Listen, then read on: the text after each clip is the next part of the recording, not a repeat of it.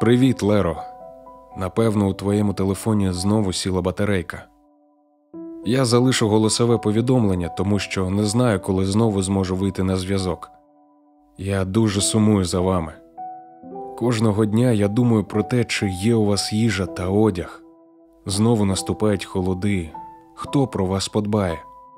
Подзвони мені і скажи, як там у школі?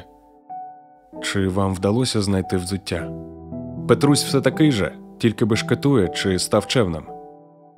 Мила моя, ти завжди всім допомагала, для всіх знаходила терпіння і потрібні слова для примирення. Але, будь ласка, прийшов час подбати про себе. На вулиці холодніше. Знайди щонебудь тепле для себе також.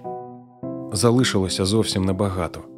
Я дуже сподіваюся, що незабаром ми зустрінемося вдома і. Я сумую за вами.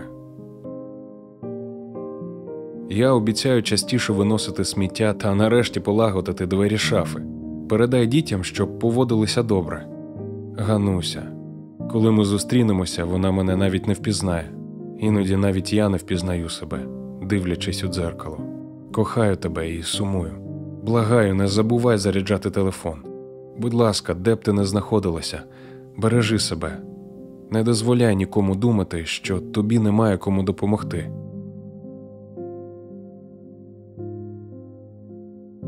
Занадто вигідні пропозиції працевлаштування можуть бути сумнівними. Повідом кому-небудь з родичів, перш ніж приймати пропозицію про роботу в іншій країні.